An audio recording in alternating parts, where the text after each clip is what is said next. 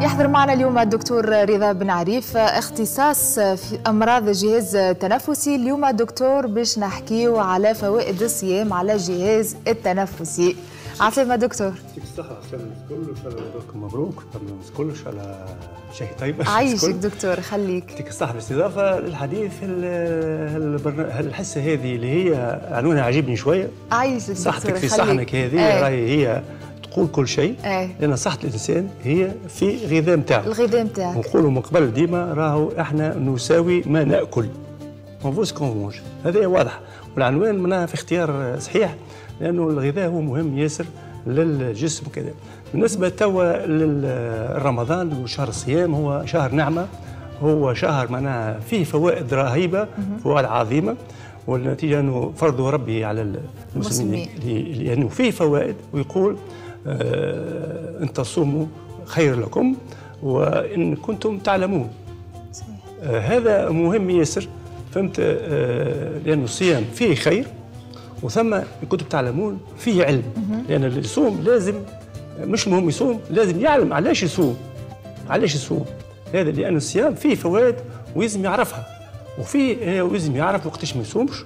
زاد كيف كيف؟ الإنسان اللي هو خاطر ربي يخف عليه وثم يسر ولا تعسر فإنه اللي هو عنده ما جسمه ولا صحته ما تسمعش فإنه ينجم يصومش وينجم يعوض. هذا هو هذا اللي اللي هو معناها المغزى من هذه ولهذا إنه الجهاز التنفسي هذايا هو مش في معزل على كامل الجسم. الجسم كله يستفيد من رمضان يستفيد من الصيام. كيفاش؟ يستفيد لأنه خفايا الأشياء. اللي إحنا قاعد ننظر الأشياء بسطحية. كي تجي نفسر فوائد الصيام على جسم الإنسان على المستوى الداخلي اللي إحنا ما نشوفوش بالعين المجرده نشوفوه بالمجهر وكذا. لهذا الاستفادة الأولى اللي ينجم يستفيد منها الإنسان هو المناعة نتاعو المناعة نتاعو تتحسن بصفة كبيرة. والمناعة هذه بالطبيعه تنعكس على الجهاز التنفسي على الجهاز الهضمي على الجهاز العظمي على الجهاز على الجسم بصفة عامة. كيفاش المناعة تتحسن؟ ما تعرف اللي الصيام هو هو يصير فيه جوع. يصير فيه جوع يصير فيه تجويع. ومش الإنسان يحس بالجوع مي هو الخلية هي اللي جاعت. إيه؟ تجويع الخلايا وتجي خلية جوع فإنه يقع معناها اختبارها. يقع اختبار الخلية هذيك. الخلية اللي هي تعب ولا خليه اللي هي اشتغلت كثيرا واللي هي معناها يقع ازالتها بك التجويع هذاك المناعة يقع تجديدها بإزالة هاك هاك الخلايا اللي هي معناها خرجت على الخدمة. وحتى السموم إزالة السموم أي. إزالة الفواضل التفاعلات الكيميائية الكل. فإنه تبقى التجديد هذاك يخلي لنا آخر رمضان يجي لنا مناعة نظيفة ومناعة جديدة ومناعة قوية وينجم الإنسان ينجم يدافع على روحه بما فيها على الامراض التنفسية والامراض الأخرى. لأنه فين المشكل فين المناعه نتاعنا موجوده هي على مستوى الأمعاء. الغشاء الجرثومي هذاك اللي غلف الأمعاء نتاعنا هذاك فيه كل شيء فيه الجراثيم الكل الجراثيم الباهية نقصد. هذيك يقع انتقائها واختبارها في شهر رمضان شهر الصيام فإن الخلية التعبة والجرثومه التعبة والمواد السامة وذاك المواد البروتينية اللي هي تتدخل في الحساسيه مثلا كالهستامين مثلا. أي. الهستامين هذايا هو المادة الأولى في الحساسيه اللي تسبب في الربو تسبب في الحساسيه الجهاز التنفسي.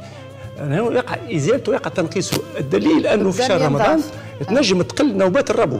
حاجة ثانية مهمة بالنسبة للفائدة الأولى هي ما حكيتهاش اللي هي التدخين. أي. التدخين ممكن تعرفوا التدخين؟ ينقص في شهر رمضان. أول مؤثر على الجهاز التنفسي هو التدخين. صح.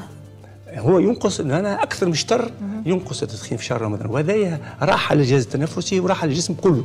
وتنقصك النوبات وتنقصك الكحة وتنقصك البلغم وينقصك المشاكل الكل. لهذا أنه شهر رمضان راهو كله منافع كله فوائد. معناها نجموا نصوموه راهو فيه فائدة كبيرة. على الجهاز التنفسي على الجهاز التنفسي والانسان المريض اللي هو مستأنس ياخذ في علاجه مستمر ينجم ياخذه بين الإفطار وبين السحور وكان ثم مشكل آخر ثم طبيب يستشيره يفطر ولا ما يفطرش ولا يكمل يصوم ما يصومش. هذا هو أغلبية الأوقات راهو كله فوائد ما إحنا في ممارستنا اليومية. معناها بالعكس يلزموا يصوم. لا ما يصوم الصيام هو إلا في صورة المضاعفات. إيه. المضاعفات هذه اللي تدخل منذ خمسة ست أيام لعلاج هذه المضاعفات هذيك وبعد رجعوا للصيام ما فيش مشكل. نجم يعوضهم بعد رمضان. شكرا دكتور نورتني. ميرسي على التوضيحات هذه الكل. كانوا معنا دكتور رضا بن عريف مختص في أمراض الجهاز التنفسي.